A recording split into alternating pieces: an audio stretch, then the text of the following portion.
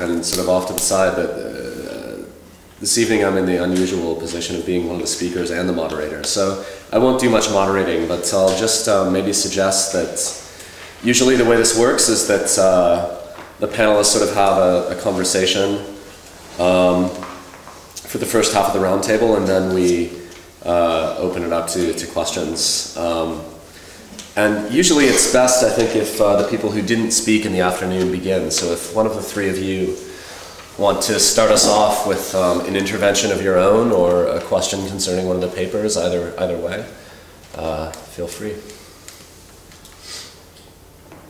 Hmm? I can start, actually. Yeah.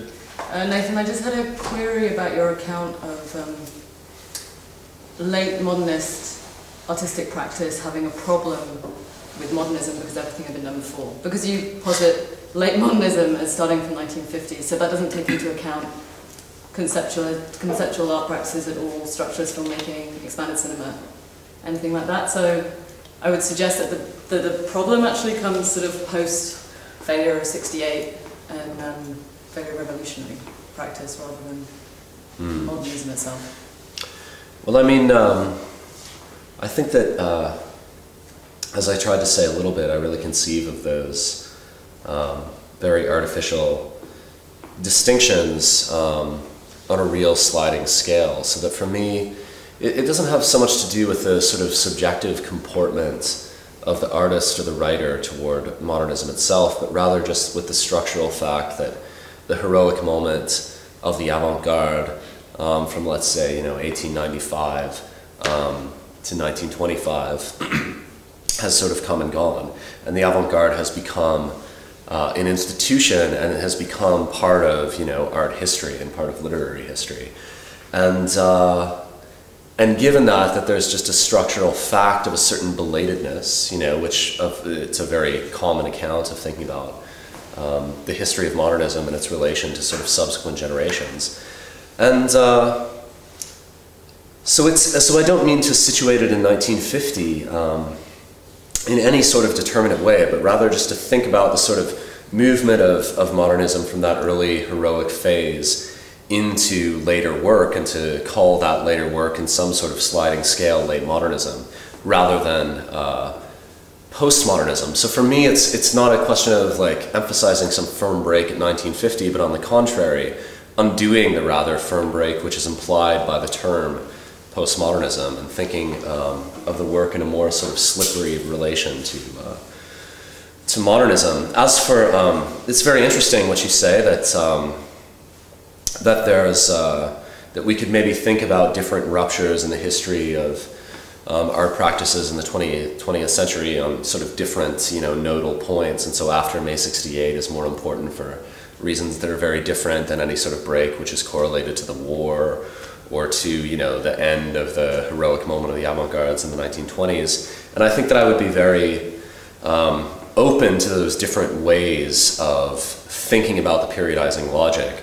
All I mean to do is sort of replace the large category of postmodernism and of postmodernity um, with an account of late modernity that can sort of take account of a sub, structural kind of substrate of the work that was called postmodern and think of it rather uh, as included in the history of modernity, you know, and, and to think of its relation to modernism also as included within the history of modernity.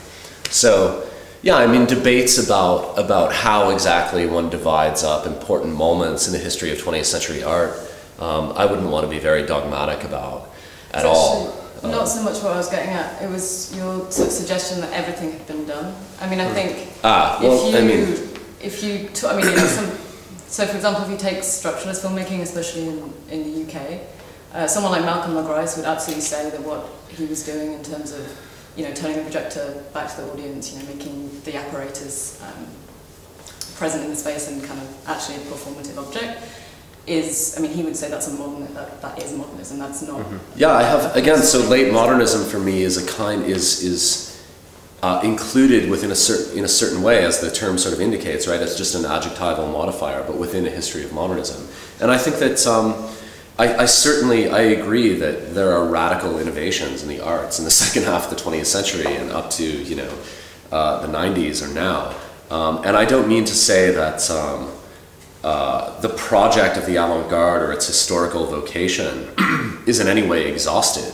I just mean to say that there is a sort of early and heroic moment of modernism, which I would never, which I would not call high modernism in any sort of polemical way, but that's, um, but that happens, and that then uh, subsequent generations of artists do have to um, think through their practice in relation to. You know, that is to say, they're not in the. It's a very classic. Yeah. About whatever came before. Sure, but um, but it's different when what came before. I think is. Um, is the radical experimental practice of modernism rather than, for example, the position that a, that a poet like Ezra Pound is in, for example, mm-hmm. is that his you know antagonist, of course, he's working in very in a very close relation to a poet like Browning. So it's not that there's just like the Victorians over there or something who are you know these horrible people, but he is positioning his work in a very polemical way against Georgian poetry in the early 20th century and also he's positioning his work against, you know, in relation to vers libre, but also against um, a kind of tradition of iambic pentameter in English poetry, um, and working with, you know, a poet like Whitman to think about how to, uh, after a poet like Whitman, to think about how to, you know, reconfigure the line and measure the line without standard um, meter. And I just think that, uh, so the relation of, um, the polemical relation of Pound to uh, his predecessors or his cultural context is very different than, let's say, the relation of a poet like um, Charles Olson to Ezra Pound. So, writing a generation later in the late 40s and the 50s and thinking about his practice in relation to Pound and being in complete solidarity um, with Pound's poetic project in the 20th century, but also having to conceptualize his practice as, you know, in terms of what hasn't been done by the first you know generation of modernist of modernist artists and writers and thinking like what remains to be thought through in the way that we address poetic form. So it's not at all that everything has been done and ah we're belated and tired but just rather like having the kind of relation to modernism where one has to think about what's been done um, by modernist experimentation and how in solidarity with that history um, one has to conceive of what is yet to be done in relation to that history. And I think that, that it's possible to call that um, late modernism uh, because it does operate um, under the under the historical premise, you know, that something like modernism has taken place as something like I I believe, you know, a real break in the history of of art and the history of literature. I mean, for me, it's there isn't really a continuum you know, from the 19th century through the 20th century, or from the early 19th century through the 20th century. For me, there is a real break that is instituted, um, you know, by Cezanne, by a poet like Pound, you know, which is very, or by someone like Alfred Jarry, you know, um, and it's very important to mark that for me. I wonder if you can use the same approach then with a tendency something like recycled cinema, which has been you know, around and also been using it since the early 20th century. Yeah. And it sort of still has the same impulse today, whether or not you're, you know, Cornell's dumpster diving and finding like the Rose Hobart film and cutting every frame and putting her in it, or whether you're Dara Birnbaum who's stealing tapes from a television studio, which is, you know, really, I mean, her work is, she positions it, plus she's positioned as a postmodern mm-hmm. artist. But like essentially the, the impulse with recycled cinema, whether that's celluloid, digital, now kind of like internet-based like CG technique, pulling, stealing images or whatever, it kind of like resists that periodization in some way. Sure, I mean, I'm sure. I mean, I don't know, you know, I know practically nothing about the work that you're talking about, and you know a lot about it, you know. So tomorrow, when you guys speak about that, I'll be very interested to, to try to think through how it relates to um, aspects of the periodizing logic that I'm trying to put forth, but I'm, I'm very concerned to avoid uh, any sort of any sort of claim that um, the very rough schema that I drew up accounts for um, all aesthetic phenomena in the late 20th century in any way. You know, and for me, the um, the periodizing categories that I'm sort of working with in terms of late modernity or late modernism. Uh, in a way, it's not really my own periodization, but rather um, that I've thought through in my own terms, but rather engaged in a certain critique of Jameson and simply sort of, uh, you know, taking some periodizing work that he's done, rethinking what it can account for, um, and thinking about what the, what the consequences for historical thought are of altering the terms of his categories. So I'm not very concerned um, to you know construct a periodizing account uh, that can account in some sort of grandiose way for um, a cultural dominant in the way that Jameson is, but rather just to think through um, what his own account doesn't doesn't isn't able to tell us about other things that are going on in the 1980s, etc. And I'm sure that can be done with the terms I'm working with as well. Yeah. Intrigued me about the way you, you formulate this is that um, so you emphasize what's already been done, and so the modernisms that come after that are shaped in a sense by this anxiety of influence, maybe, which has been used in other kinds of contexts. Um, but but it's only late, as opposed to say later or, or building on or something, if you in fact are investing quite a lot in the notion of its imminent demise, right? That there, that modern, you know, modernity is facing its imminent collapse. It's a matter of time. It might be, you know, of course, you're not going to put a date on it, but it's it's it's invisible and it's imminent. And it's coming. Which is um, and why? Well, because capitalism is going to be is going to be destroyed by its own internal contradictions and. But not because modernity or the resources of modernism have been exhausted. That's the usual narrative, mm-hmm. right? Is that you can't make how, how many white canvases can you draw? I mean, or there's, yeah, there's a I mean, certain exhaustion. Whereas you're not saying that. You're no, saying no. Okay, but again, that's my problem. Is what is the relation then between modernity and, and capitalism? And it just it feels to me that you're relate that it is essentially redundant. What you, your real category is capitalism, and a, you know, a, a, an account of capitalism is driven by contradictory dynamics that will destroy it. Um, and that can be reconstructed by an adequate structuralist account of those dynamics. But that then modernity is just this essentially like an, the expression of that in the domain of culture, or the representation of those dynamics in this other sphere, which you really you don't really need. You know, it doesn't have its own logic. It doesn't have its own. I mean, there's no reason why, for example, all the other things we talked about in terms of modernity should be exhausted, like the mm-hmm. project, for example, of mass literacy, or or why the capacity for urban forms of collaboration or living together should be exhausted, or just because they happen to coincide with a certain stage of real subsumption. I mean, that that doesn't follow at all. It seems to me.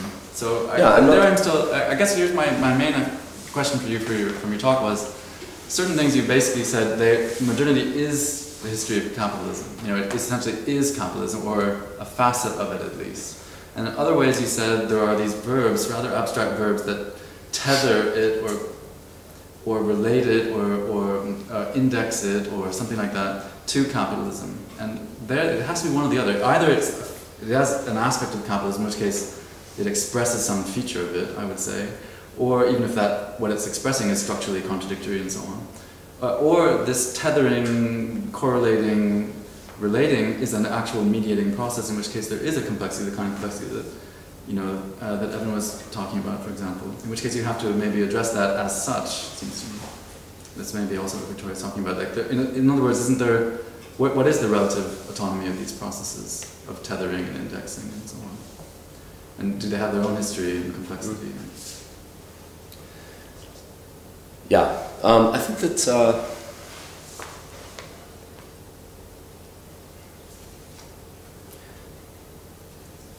to make us to try to make a kind of formal point, I would say that what I'm calling modernity is something like the history of the social transformations that accompany the development of capitalism as a process of modernization.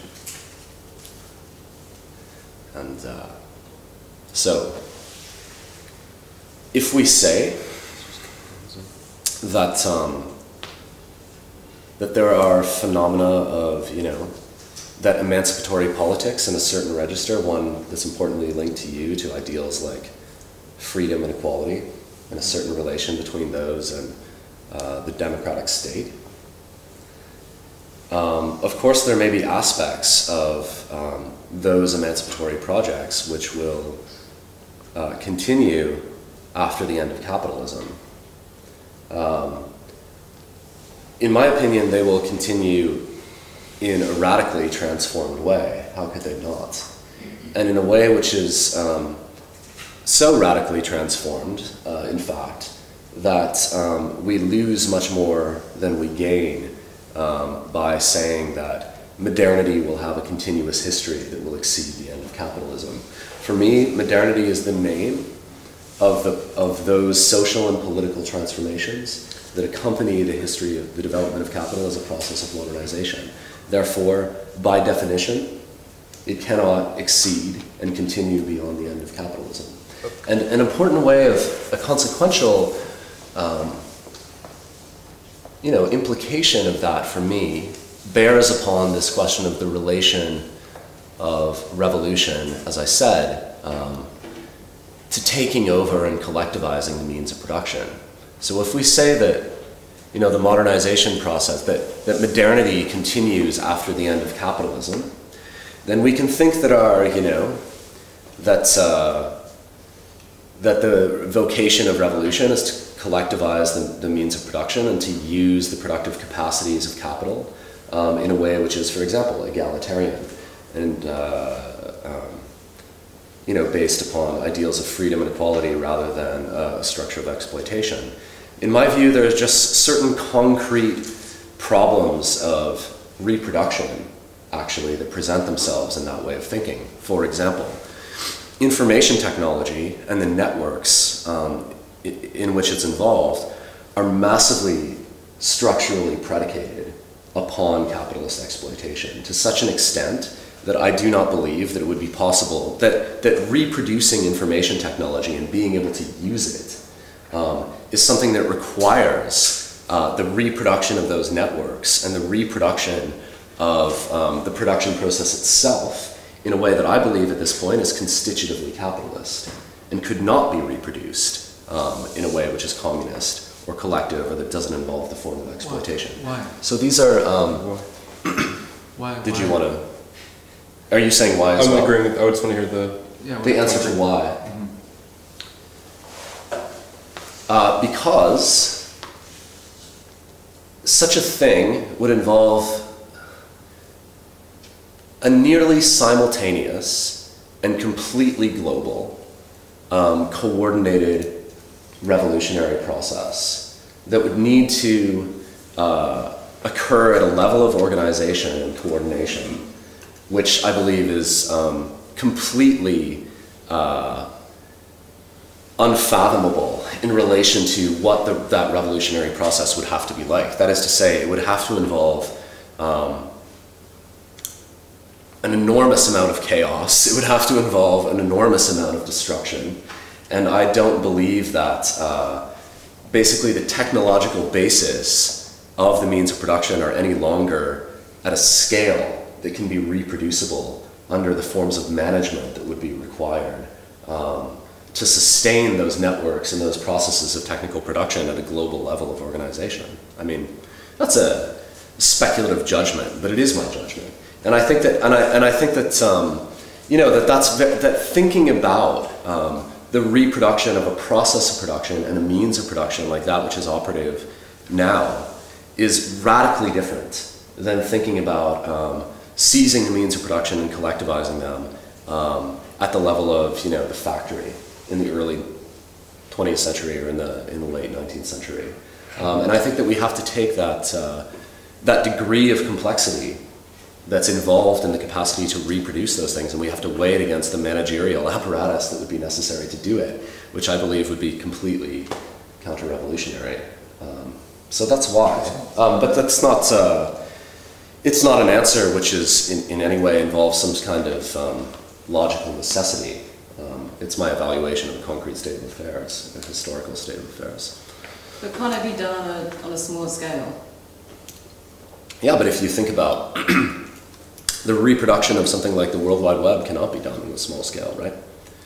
Um, different different ways of using, you know, computers or using technology, of course, can be done on a small scale. But what I'm talking about is um, collectivizing the capitalist process of production as it exists now. No, that can't be done on a small scale. I have a slightly different tack, but a question I do want to pose about, maybe this is to hammer on a point, but I actually do think that you are collapsing modernity and capitalism in a way that for me is not quite functional. And here's why. You said that modernity is the set of social conditions that accompany the development of, of capitalism. Socialization. The social, the transformation okay, of okay, social well, here, okay, relations. good. Well, like you know, Marx, you know, as you know, like the book's called like Das Kapital, not you know capitalism, but like capital. And capital, as we know, is not an economic fact, but is itself a social relation. So all that capitalism designates is the social and historical and material complex that supports and makes possible the reproduction of that social relation. And so basically, what you're talking about is simply the development of that, right? So that is just that's capitalism in that sense, which is exactly the definition of modernity. Why would it be important to have a differing definition of that? Well, because there are a number of influences and countercurrents and things that don't quite take and kind of moments that come and pass and inputs that I really think, you know, well, I'm obviously remain a Marxist, like I think it's extraordinarily labyrinthine to try to reverse engineer them on a certain story we have about the development of value as a social relation. And this involves, you know, for example, the fact that the story you told, which, you know, I'm in agree, agreement with for a fair amount of it, but, you know, as we know, that's a story driven by an extraordinarily small portion of the world until we hit the 20th century. This is the capitalist core.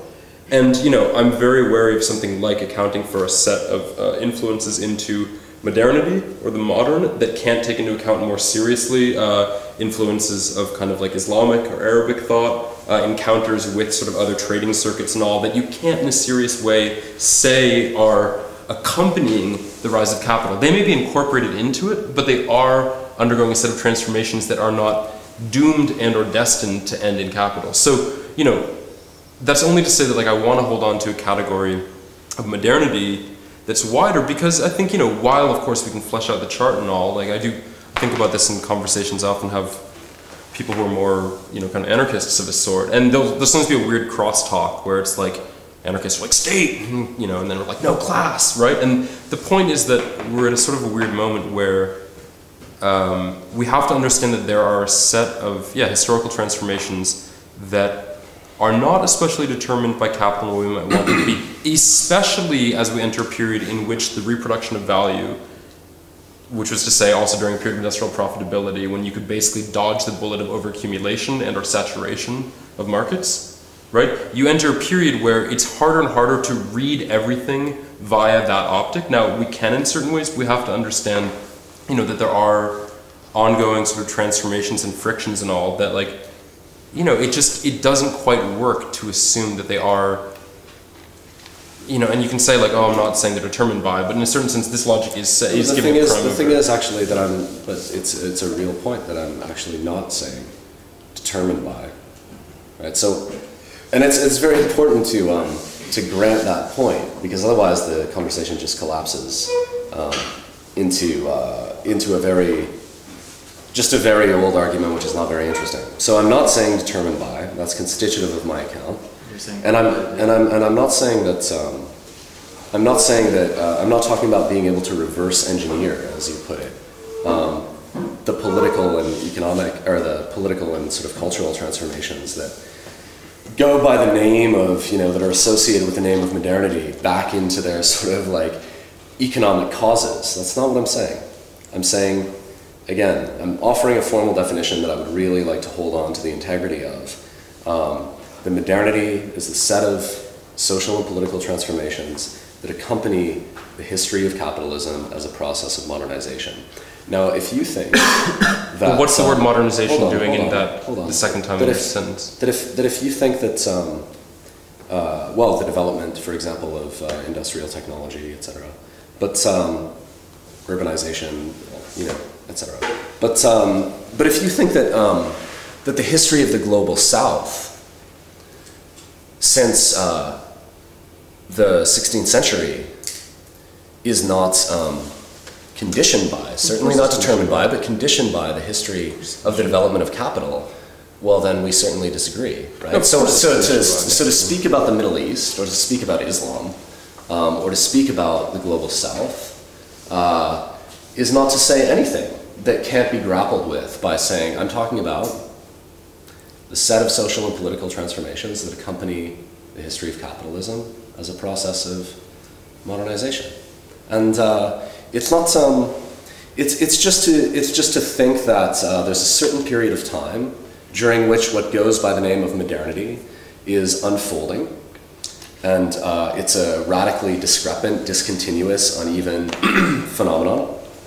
Um, and uh, at the same time, the capitalist you know mode of production is developing, and there's a very tight uh, relation, I think, between those. I, re- I refuse um, to come down and say either the two have nothing to do with one another, or that they're so overdetermined that in fact it's useless to think about them in relation to capitalism. Nor will I say that they are strictly determined by it. And so the the effort to push an account which tries to think the historical conditioning of modernity by capital into a determinist account, I view as a really, um, as quite a reactionary uh, intellectual maneuver, actually, and it happens all the time, and um, it's very easy, uh, and I don't think it's very interesting.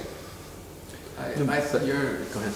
No, no, no, no, you can receive one direct. You're, you're avoid, I think you're, you're trying to have it both ways. You're trying to say on the one hand that. I'm trying to have an account of to say- determination, and that is to have it both ways, indeed. Well, but then you're avoiding the kind of determination. So you, the verbs you use are either it's associated or they're accompanying with. Accompanying, yes. Okay, accompanying. Before they're tethered to or correlated to or indexed by. Accompanying. I mean, that, it, it's a very. It doesn't. It's as you say. You don't want to try and explain it. So it's a. It's on one hand. It's not an explanatory. On one hand, it's like okay, yeah, the Reformation accompanies early development of capitalism. and That's true. I mean, they happen chronologically at the same time. If you accept that the, you know, the industrial revolution that you mentioned is indeed early capitalism, and that's plausible enough. But does what is it? Um, it seems to me that the, what is the point of doing this uh, exercise of, of showing that, for example, the Enlightenment in its distinctive, you know, situated, complex, contradictory processes. You know what? It, it, the, the issue is how to explain it, how to understand it, how to understand its promise, its limitations, and so on. It, But I think you're I think you're misunderstanding the burden of my um, paper, and and um, associating it with a kind of discourse in which it doesn't participate. That is to say, I'm not I'm not giving a. Um, it's not a history paper. I'm not I'm not trying to do anything like um, explain the Enlightenment. I'm trying to uh, periodize, for one thing. Um, artistic production in a way that's very different than, than Jameson does, but which is very closely associated with it at the same time. And so to situate something um, and to periodize something is very different than to sort of explain the causes of the Enlightenment. So if I situate um, a particular, um, if I think it's important, for example,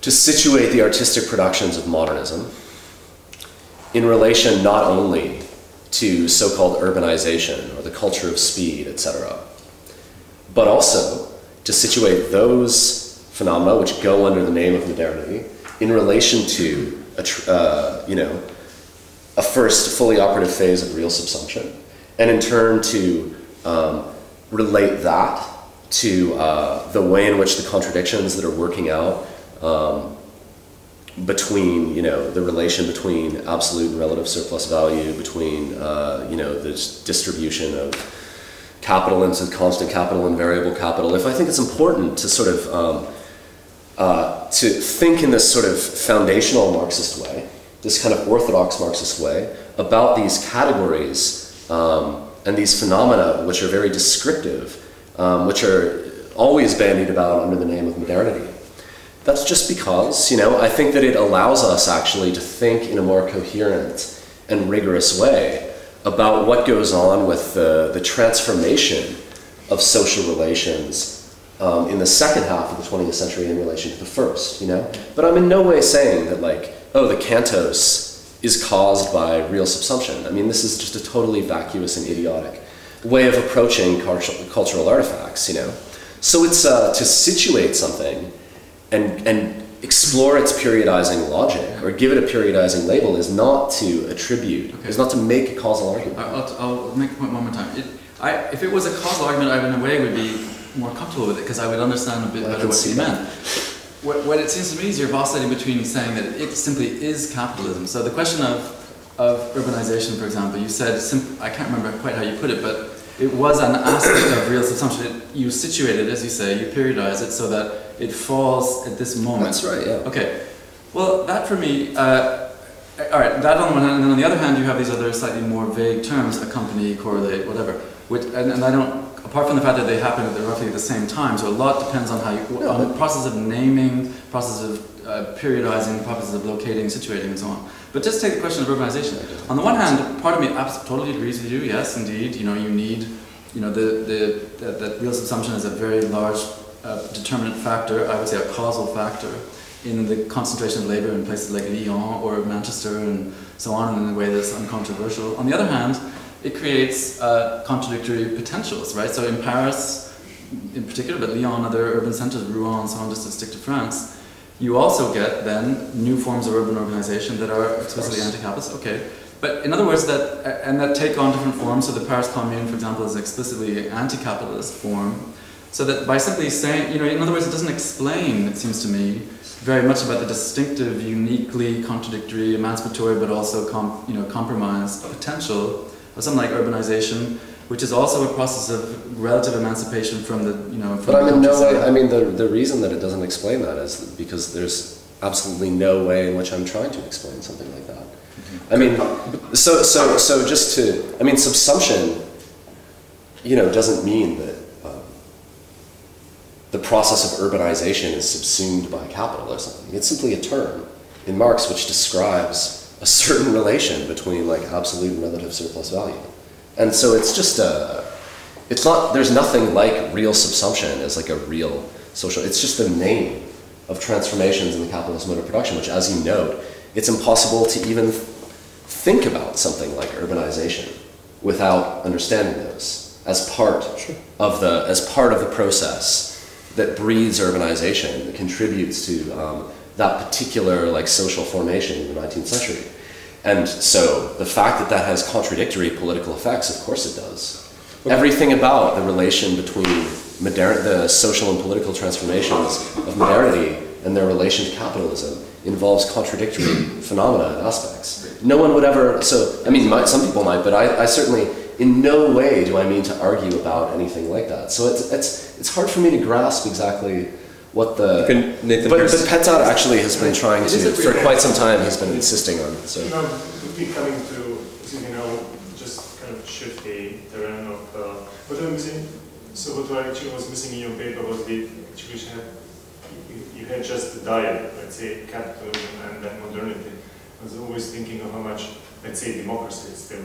So to make really the perfect triad, how, how much you actually you're missing. it. Now, of course, you sketched out you're interested, let's say, in technological development, so let's say aesthetical development under the, let's say, the guidance of the, of the Marxist uh, conceptualization. But let's say what would interest me in a sense, in also in some, some, some respect, comes also, let's say, close to the question also to Peter's. Um, if then modernity is, we had to take its end, let's say, its closure as a revolutionary task, is some, is, this- is this the same valid for, for democracy?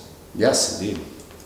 You're absolute, I mean, so it's no other democracy, so no other ways of democracy are coming up. I mean, they don't. The, the category of democracy is of no interest to me uh, politically. It's not a. It's not an ideal um, or a political form that I think holds any radical potential. The rule, you mean the rule of the people? That's what it means, right? The demos, in that sense. Yeah, but we're talking about. I mean, Petzada is referring to a particularly, again, uh, a political form which emerges during modernity as a particular. Um, But you can as choose a, as a no, but- modern no, political but I think, I transformation. think also and I'm saying that, yeah, that I agree with a thinker like Badiou, who says that democracy is the name of the enemy today. I completely, I have no problem with this argument. Um, so yes, I think that, uh, I think that exactly the destruction of a state of affairs in which that response to a question about democracy could in any way be scandalous or controversial is exactly what is necessary. That that is to say, the sort of um, the deconstitution of the category of democracy as having a kind of as associated with um, uh, liberty and equality is something which I think is uh, yeah, an ideological uh, effect of, of modernity, and one which is not particularly interesting, and the, the sort of um, effects of which are everywhere manifest. You know, so um, communism is what's interesting to me, and, the, and what communism is is, a very complicated and interesting and ambiguous uh, question. But um, uh, associating communism with the project of radical democracy or um, trying to think or practice democracy in a new way, um, it's not a, a, theoretical or practical problem which interests me. And I find that usually in political situations, uh, it again is, um, it's not, uh, it's not on the side, you know, of, of revolution, in my opinion. It's a counter-revolutionary uh, commitment. So, so, but would you then say that even less than a relative autonomy, let's say, of arts, so then for your political history, let's say, of modernity is of no importance at all? It's no, and then the, I, I don't, I don't know, I don't know where these objections are coming from. There's nothing about the account that I gave that um, that indicates that I reject the relative autonomy of art. Okay, but here's okay. Let me. Can I explain why I think you're getting these questions? Sure. Okay, so you borrow uh, for initial contestation. You take on Jameson's schema, right? Yeah. And you could say there's broadly speaking, there's sort of three strands on the table here. One would be something like modernity, which even I'll you know go along through here. We're saying something like a whole set of transform social transformations across a good five centuries or so, many of which we can think of it related to capital, some of which it's hard to see how, but nevertheless, there's that. So there's modernity, there's something like the history of capital, and then the third would be something like, based on Jameson's things, the idea there's a cultural logic of these things. Okay, mm-hmm. now the reason you're getting all these questions about correspondence, uh, indexing, uh, accompaniment, etc., is that, you know, if you're going to bother even to engage with these three th threads, like the, the kind of critical task would be hopefully that it would, that thinking these three things together would tell us more about, let's say, two of them than just thinking one alone. This would be the account. So what worries, worries is putting it strongly, I don't really care, but like, what I find odd is that when you switch into the logic of saying like here's modernism, modernism, and late modernism, when you're talking about Pound, etc., the accounts you gave were radically divorced from the set of categories that you didn't say were determining or primary, but that you wanted to track out. And so at that point, I'm like, well, then why bother bringing them into the same place? So, for example, the the account you gave, like McCarthy and Bayer and all, like, you know, I'm really interested. Maybe you know this makes me Jamesonian or whatever, but like, actually, I do think that uh, large scale trends in, in, um, in cultural production actually do kind of elaborate and articulate uh, aspects of sort of social and economic experience that we don't often understand otherwise, and it's really mm-hmm. worth thinking about them. But the account you're giving keeps saying like it's not determined by that, it doesn't correspond directly, and so I'm like, then why periodize? Why periodize in that case if you are going to say there's not a connection there? At that point, it's just like write a history of modernism, like a Bloomian history of anxiety, and write a history of capital but like if you aren't willing to say that there isn't an articulation between them, then there's literally no point in putting them on the I'm same not page. saying there's not an articulation between them. But I, but give me an example. A, like I want to say like there's not a causal there's not a one-way causal relation. But what you it's very different. I know, but Nathan, but like James, I agree with you. The problems of Jameson's account of capital, but Jameson gives me a more convincing reading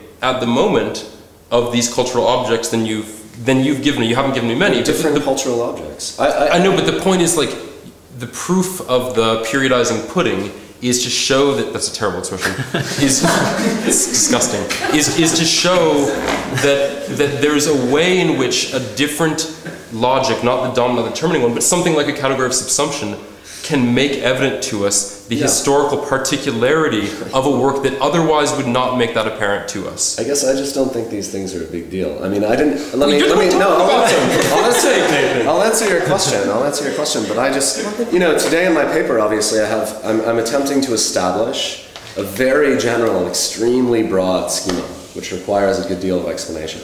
I don't have very much time to talk about artworks. Uh, you know, I've been teaching this stuff and doing three hour seminars on like McCarthy or whatever and talking about this stuff at some length. I think that yields interesting results in some cases. The point for me about your question is just like surely we want to know as much about um, an artwork as we can, you know? So if we, if we can think about Surely we want to know as much about the context of the production of an artwork as we can. If we can think about the relation uh, between the social and political transformations that go under the name of modernity, how those change in relation to uh, the history of capitalism, if we can think about art objects in relation to those two questions to do the three prongs of analysis that you mentioned, surely that's better than doing just two or one of them. Now, doing that, now doing that will put a certain burden on uh, uh, someone who does that kind of work. That is to say, it will make them um, appear as uh, something like a, perhaps like a determinist Marxist. Why? Because one is attempting to situate, you know, uh, an artwork in relation to capitalism. And certainly there are other ways of talking about artworks, which uh, in my, you know, in the sort of critical work that I've done in most of my writing, um, has had very little to do uh, with situating art objects in this manner. But so the, just the fact that that's what I'm doing today, that um, that that's one thing that has to be done. It's not a big deal. But that won't make How someone could, how like a could one determinist. possibly Nathan, talk Nathan, about our this is the reason why. without talking why- about its relation to capital. I know, of course, and no one is like my pro. The account you describe, in fact, the other one would not be determinist at all because it's willing to understand that there are a set of other histories within modernity that have, of course, they like run parallel. We know that the state is kind of dominated by the reproduction of capital and all, but the reason it wouldn't be determinist in a certain way is that it treats all three of these things as mutual fields of influence. That like there's ways, as we know, like kind of capital capitalizes profoundly on transformations in the cultural sphere. For example, like, you know, we don't want to overstate the case of postmodernism, but a critical category got a lot of purchase in the art world. A lot of smart people who were ad men were engaged in that, and actually there are cultural works made, including on the mass scale, that we have to recognize as such, not because they come after capital, but because like that's a mode of cultural production that became really popular and had huge influence in the world. So while it's bullshit and leads to bad work, like it's a real force. You know? I mean, you know that I um, agree with you about this. There's, I mean, there's no, in, in nothing. I, I insist really that nothing that I said in my talk or the Q and A implies in any way or or um, constrains me in any way to hold that art objects don't have historical effects.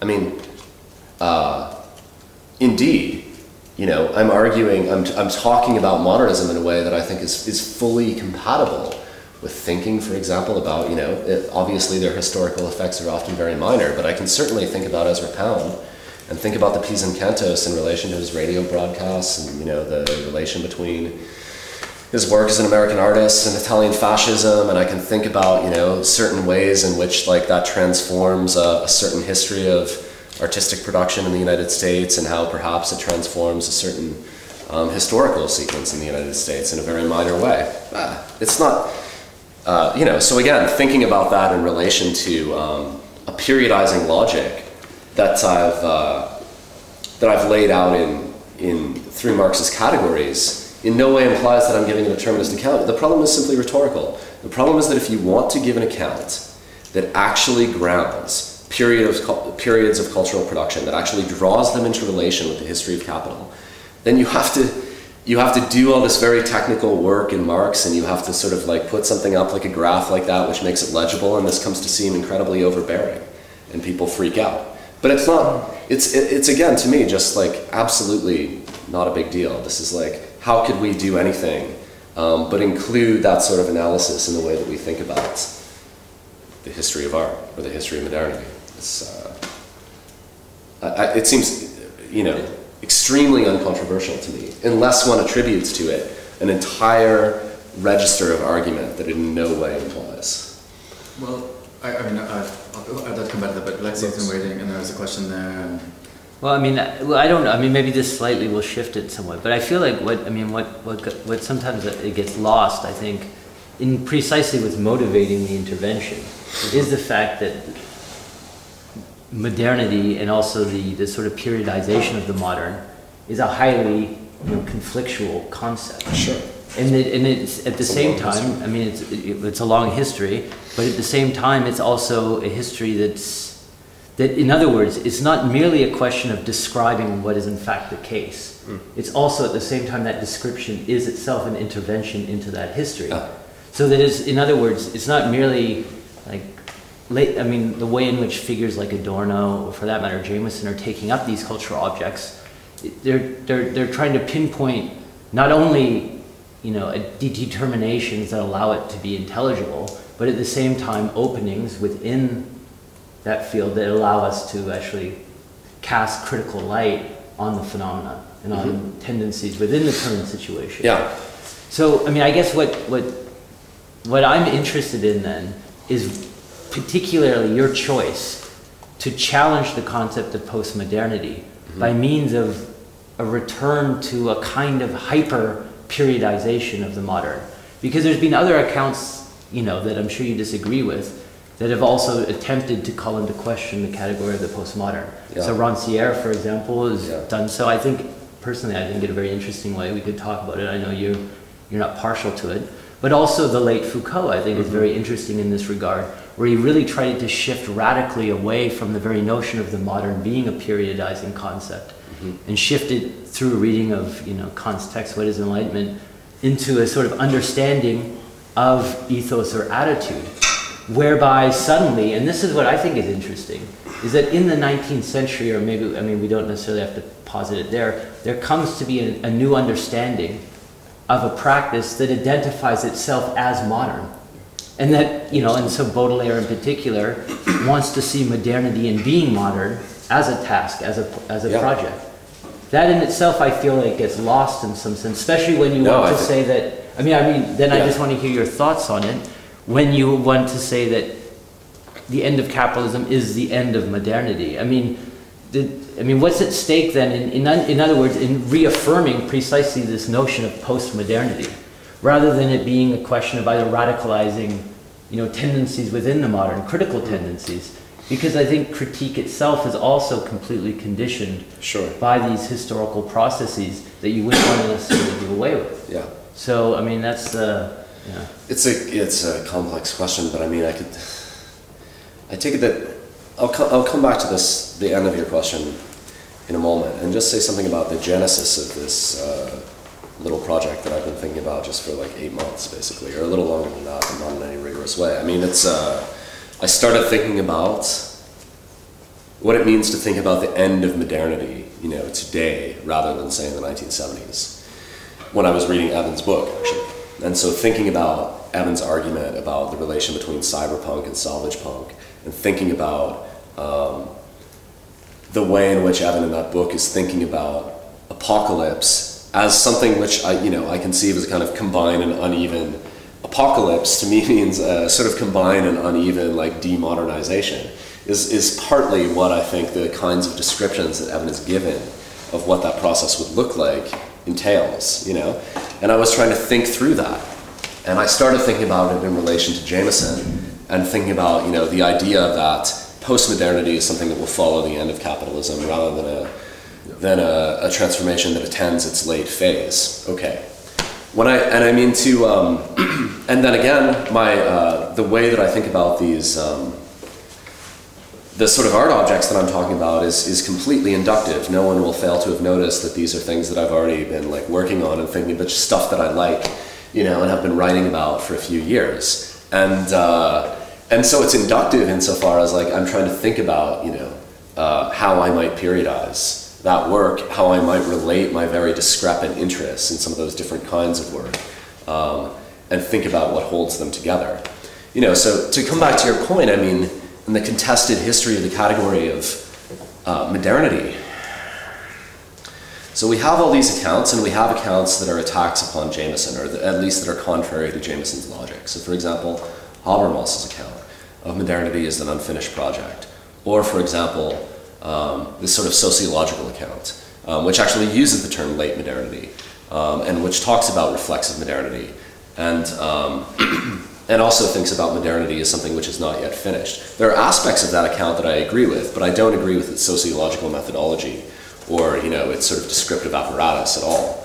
Um, and I think that uh, to come back to Baudelaire, the way that I'm thinking about, for example, the reflexivity of modernism, is that that you know, or to think about a declaration, um, one must be absolutely modern, you know, of um, to, to think about that uh, that sort of declaration, or to think about Baudelaire, um, where to be modern is a project, and you no longer have, and this is something Jameson says, it's uh, the, the moment of um, the battle of the ancients and moderns has, as it were, been won. You know, and, and becoming absolutely modern is a sort of um, imperative of the new and of the avant-garde. Fine. And this is a moment where, like, modernity becomes reflexive and takes on its own imperative to be modern. And that, for me, is what modernism is all about. And again, that's a perfectly sort of uh, standard, you know, understanding of, of, of, aspects of modernism. Now, to think about that in relation to the moment when um, real subsumption properly comes into its own and you have a properly capitalist production process, then that contextualizes that imperative to be absolutely modern in a certain way, a way which I find very interesting. That is, it happens at the moment when capitalism becomes, as it were, like actually capitalism, when you have a fully capitalist production process.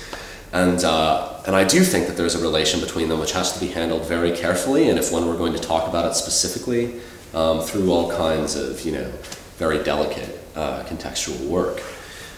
And, and contextual work that would have to be locally situated, etc. But, um, and so for me, you know, uh, to come back to the question of postmodernity um, from the sort of perspective uh, you know, that I arrived at from thinking about Evan's book in relation to Jameson was just a way of accounting for the periodization of the present in a way that I didn't see happening in other accounts of modernity, and that I thought Jameson's account was uh, partially adequate to, but was, you know, sort of um, quite constrained by its own conditions of historical production, in which it sort of seemed to make sense uh, to Jameson to call this postmodern or postmodernity without um, and having to force you know a relation between postmodernism and postmodernity that required him to make these absurd arguments about the total completion of the modernization process or its structural completion. And uh, you know so that's I mean, I don't know if I, I think I sort of trailed off at the end there. I don't know if that's fully answering your question, and if you want to repose it, um, you can. Um, but that's sort of what motivates the project, anyway, if that's essentially what you're asking after. Mm-hmm. Well, I think, yeah, I mean, I think that's one facet of it. Um, I mean, I think the other facet is, is, I mean, I think one of the, one of the things that I find symptomatic is, I mean, of a certain understanding of modernism, and this is where I actually think that Rancière's intervention is oh, yeah. interesting, yeah. is, is that it, it, it introduces into the logic of modernity and modernism a hyper obsession with periodization, mm-hmm. such that every little, every single transformation, every single thing, so it has to be some sort of radical break. Yeah. So that I mean, what I, I guess the, the issue is is then I mean, why not? I mean, why why not? I guess hitch your um, you know hitch your interest, so to speak, to attempts that are then trying to complicate and rethink what is the modern rather than necessarily like ratchet up this very periodizing because, logic. Because, I mean, because I think that, um, that those attempts, in certain ways, they certainly add something. But as an argument, um, for example, like against the category of modernity, you know, I mean, Rancière arrives at the capacity and the sort of will to make that kind of argument uh, because, you know, he's troubled by a certain kind of uh, what he thinks is a determinist Marxism and an effort to you know evade it, and he's troubled by like Althusser structuralism, etc. And he's very and he's heavily influenced by Foucault. But what it leads to, you know, is a um, a complete severance of thinking about modernity in relation to capitalism at all. Actually, Rancière has no means at his disposal by which to think through the relation of his aesthetic regimes uh, to the history of capitalism. And so this is why I say in my paper last year that this ren renders it basically useless. You know, I mean, it might it might add some things to the conversation, but as an account which one can take seriously, the fact that it doesn't have those means at its disposal uh, renders it to me more or less irrelevant. And I would say that with Foucault, you know, Foucault again, he doesn't, he isn't able to think uh, in any sort of rigorous or serious way or complex way the relation of the history of modernity to the history of capitalism.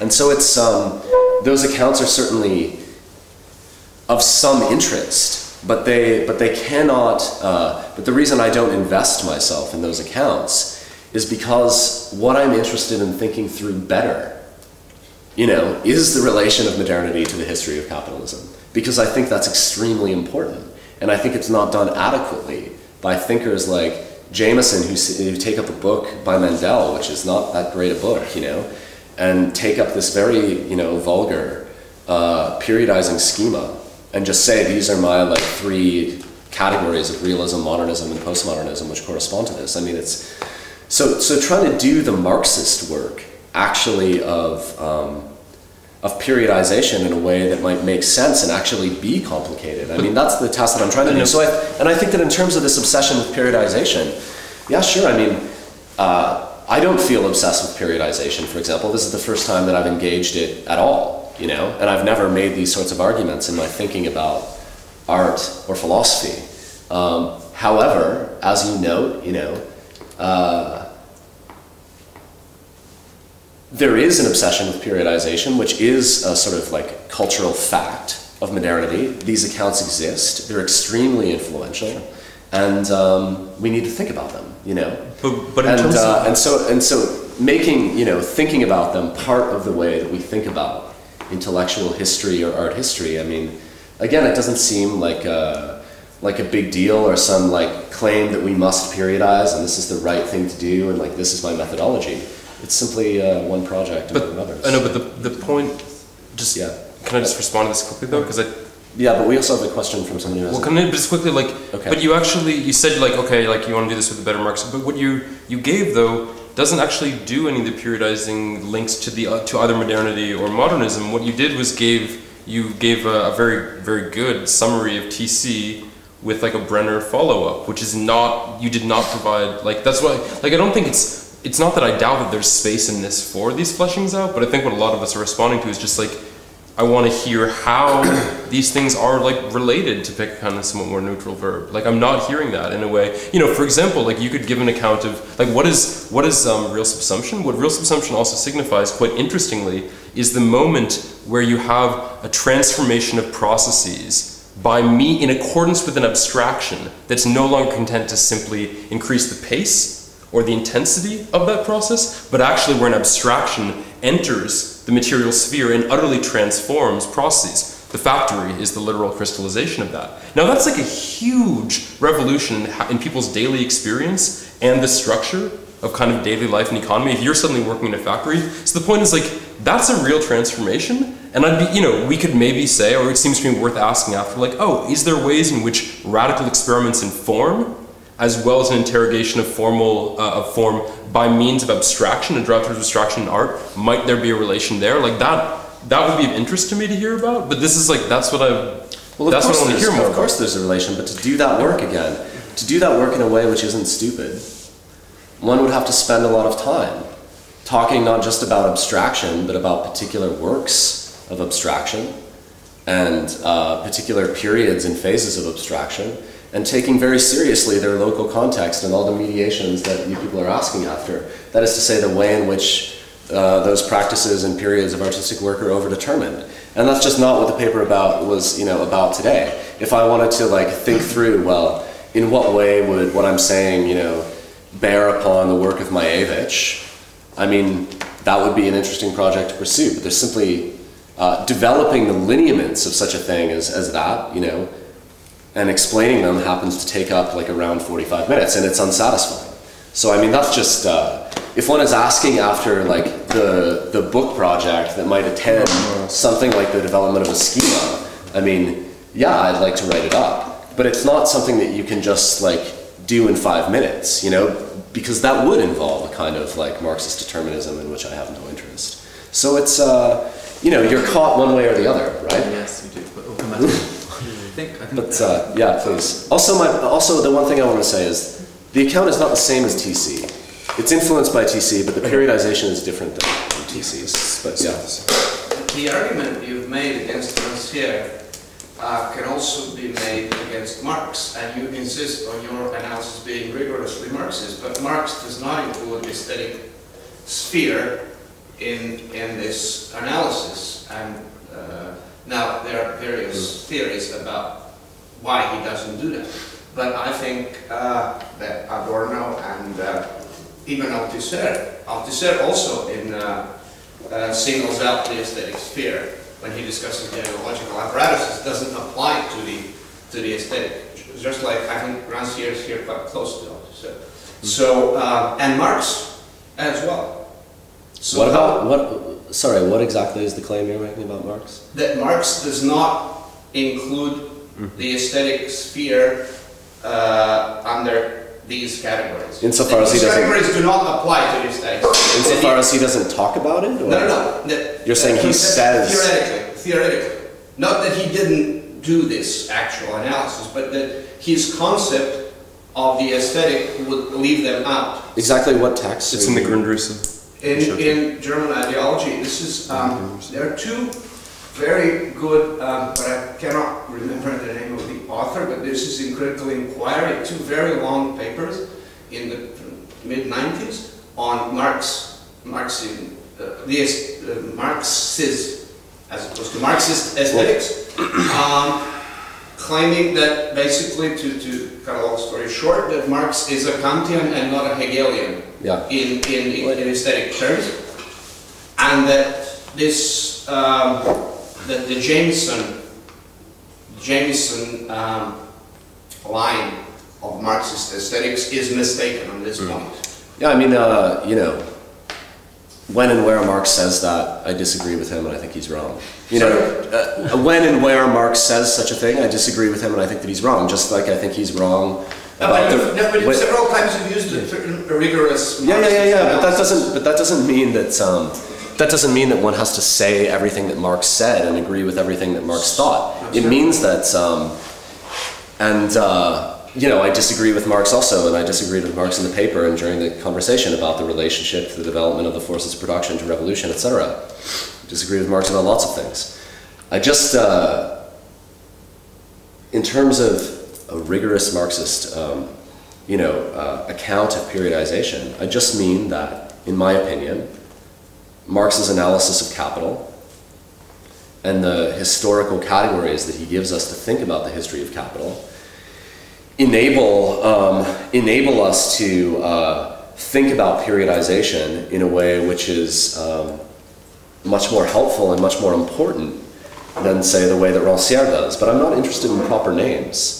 You know, it's not that um, uh,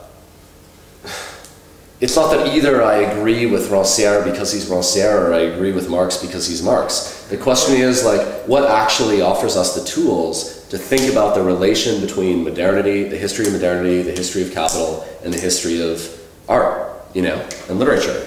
And um, in my opinion, Marx's analysis of capital is uh, pretty much the only rigorous analysis of capital that we have. And um, therefore, it offers the tools to think about the history of capital that we need to think about their relation to the history of modernity. Yes, but not of art. Ah, well, in my opinion, they do offer those tools. So if he doesn't think if he doesn't think they do, then uh, then he's then in my opinion he's mistaken. Okay. I mean, I don't have to. It doesn't matter, you know. No, no, okay, fine, but the first part is obvious. Why is Marx useful for the account of history of capital? The second move Hmm. is not so obvious. Which second move? uh, that it ap- applies to the analysis of the aesthetical cultural Oh. logic. Well, it doesn't. It doesn't. What's not obvious? Except is- that Jameson has already made it, but it's not obvious Well, not in, just in his Jameson. analysis either. not just Jameson, but you know, No, but all I kinds of people, Yeah. all kinds of every, all kinds of people who do uh, Marxist Adorno, criticism. in a certain tradition. But Adorno, for example, makes exactly the opposite claim. Okay, that's fine. But um, to the extent that that's true, that's fine. But I, uh, but I, um, uh, the idea that um, that Marx's way of thinking about the history of capitalism doesn't apply to thinking about the history of art.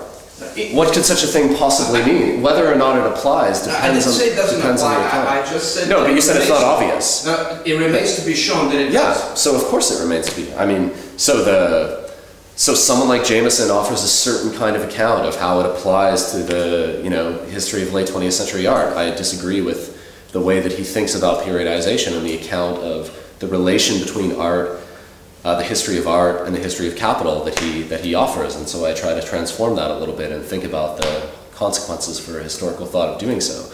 But for me, um, uh, uh, to, to, to argue that um, that aspects of Marx's analysis that actually um, the way that Marx's categories allow us to think about the history of capital that ha- that has a very important application to thinking about the history of art. I mean, there may be people who find that controversial, and that's fine, and I'd be happy to argue with them about why. But I'm not, I'm not saying it's a given. I'm just saying like I'm giving a Marxist account, you know, of uh, the periodization of aesthetic production. So obviously, um, I think that those categories are useful. Yeah. I'm not saying it's a there's some necessary. Well, I actually, quite a while ago, I, I wanted to ask you about a completely different thing that we turned away from, uh, which was the discussion about democracy. Yeah. And you, uh, uh, uh, and your dismissal of democracy, uh, uh, and uh, equality and freedom as ideological notions. Yeah. And you said that you're in accordance with the view here, and so maybe like. Not about equality and freedom. About democracy. So, so this is what I wanted to, I mean, uh, Badiou's proposal, and, and also, in Badiou, I think democracy has a quite, uh, uh, um, ambiguous, uh, uh, Sometimes. definition. Mhm. Because I think, I, I, what I would think that you're referring to is his text uh, that was published within uh, d'un quel which, uh, which talks about a specific, uh, uh, I think which is a discussion about a specific period, uh, historical period of democracy. Whereas I think that in some, some other works we have a completely different notion of what democracy would mean, and it would not apply to what he calls capitalo-parliamentarianism. Yeah. Uh, and this is what you are being dismissive of. Uh, but then also the, the other point, which I think I would like you to elaborate, and maybe if uh, uh, Peter would like, or, or anybody else to, to uh, join into this discussion. Uh, uh, so Badiou proposes uh, the communist hypothesis, which is closely linked to, to the notion of equality, right? And so equality as a, as a, as a to me, I see it as a product of a, a- a modernity, of a specific Mm. political processes linked to Yeah. modernity. Uh, so uh, how, uh, uh, I mean, your position would be critical about it, so why? Well, just- yeah. If somebody had a less critical position about it also. Well, this might allow us to lead into a discussion of Peter's paper too, And because this is what that, talking about too. this is Badiou's position, right? But I can, I can, I can try to answer that. Yeah, I mean, I think that the statements by Badiou that I'm referring to are the kinds of statements where indeed he's talking about like the late 20th century and the early 21st century, where he says, you know, democracy is like the name of what has to be, you know, opposed today, etc. And I agree with that. Um, with that proposition and the analysis that it implies, you know, the political conjuncture, basically. Um, and he says that, you know, many times um, in, in many different texts. Uh, and uh, so, but um, what was I going to say? Ah, So the that the communist hypothesis in Badiou, yeah. Yeah. That, um, you know, Badiou's problem politically, that he tries to think through practically and theoretically, has been um, what does it mean to have a politics without a party? You know, so he says this and he says it's a very obscure question. Just as the question of like what uh, the communist project involves today is a very obscure question that has to be reinvented. And it has to be reinvented after what he thinks of as a kind of historical and perhaps structural eclipse of the party form um, that he links back to uh, you know, um, the Cultural Revolution. and, uh, and this, I think, is this, this situates very clearly, I think, um, a problem that has to do with something like the end of modernity and the finitude of modernity. That, um, that the forms of political organization uh, and the um, and the and the political principles and ideals that uh, attend um, the political transformations and the emancipatory transformations of modernity, we can certainly, as Peter insists, and I, I definitely don't disagree, we can learn a great deal from them. And as I say about you know art objects as well, I want to learn as much as I can from anything. You know, so it's not uh, that's not really a problem. But the question for Badiou is something actually has really changed. You know, And, uh, and it's very difficult to think about why that is. And that's, I think, um, and that bears upon not only the end of the history of capitalism, uh, the problem of like destroying capitalism um, and producing communism, but it bears equally upon the end of modernity. You know, and that's why I think these questions in Badiou are very important. What is it to think about politics without a party? What is it to like really have done with the figure of the state in the political?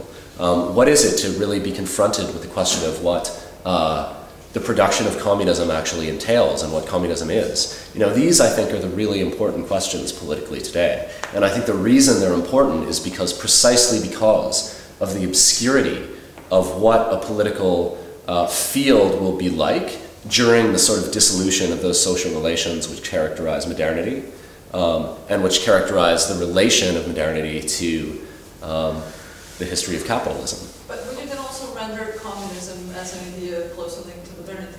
So I've written. Uh, Oh, oh, uh, yeah, sure, but it's but it's one that uh, it's a self-abolishing, you know, notion that arises during modernity, just like the self-abolition of the proletariat. It exactly operates in that way.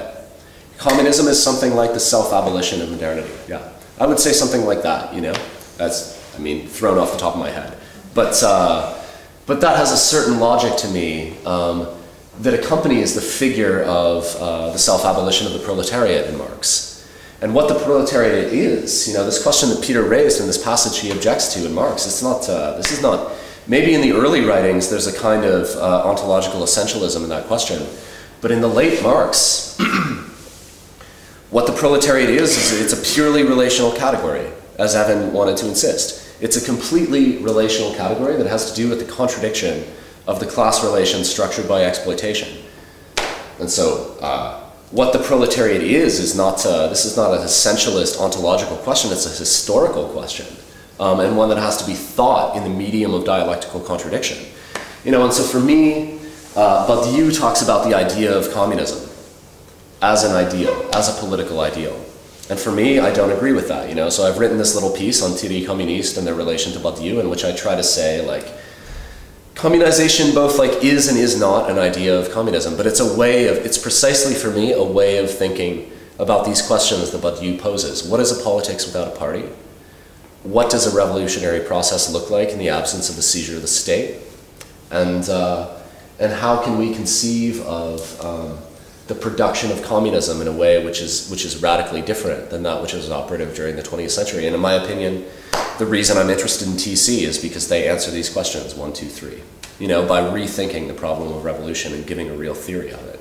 And I don't think anyone else has done that in the past 40 years, in the period with which Badiou is concerned. Um, I, a couple of things I'd like to say. I'd like to end on the question of determinism and come back to this because I don't think we can let you off the hook of determinism so easily. All the same, uh, or at least raise it in more general terms. But a couple, a thing on Rancière, a thing on Badiou, and then maybe something about this question of the party, um, and to arrive at the question of determinism and Marx and so on. But briefly, you said Rancière can't accommodate the question of capitalism. I mean, ironically, as I remember, certainly not his main concern. But, and why? Well, because he's interested in the experience of people who suffer communism, right? So he, what he does, in fact, I can think of a couple of passages, I'm not exactly sure where they are, but where he talks about it precisely in terms of accompanied by a set of phenomena associated with development and acceleration of capitalist development, right? So uh, take, take for instance his, his stuff on Mallarmé. Um, his book on Mallarmé is, is, is interested in how it is that Mallarmé, not just Zola's stuff on supermarkets and stuff, but shopping uh, centers, but, um, but how Mallarmé's poetry internalizes the category of commodification and looks at, looks at it in its modern ephemeral forms and so on, and, and Yeah. tries to give form to this thing. So is it, is it but the thing is that at every point, whether it's the Knights of Labor or the stuff on Mallarmé, he pays attention to what people say, what people's experience is, what they say, how, to, how they try to put their experience into their own words, and what it is to listen to those words, right? Yeah. And so his question, and, and the violence that is at stake in someone using their own words and imposing them on them. So a lot of the gestures that you're making of, you know, I'm naming something, or, you know, you're, you're and it, I don't, I think you're perfectly entitled to if it, if it pays off, you know, if it, if it shows, if it exposes things, reveals things, but, but there's certainly a violence in the using of those names and so on and projecting them that certainly Rancière would, would object to, and that, that might be in itself an interesting thing. I, um, so for example, just for example, the shift from formal to real subsumption, you said is a naming process. It's a real process. It, you go from the manufacturing system into the factory system, basically. Yeah, but And that's a real, actual process that is driven by real tendencies. Anyway, it's not just a matter of naming. So, so um, you know, I think I can. I think I can say pretty clearly um, what Rancière does and doesn't do in relation to Marx. For Marx, in chapter eight, I believe, of volume one, he talks about the fact that we have to think about um, capitalism in two different ways. And we have to think about the reproduction of the capitalist mode of production in two different ways. We have to think about it on the side of the valorization process, and we have to think about it on the side of the labor process.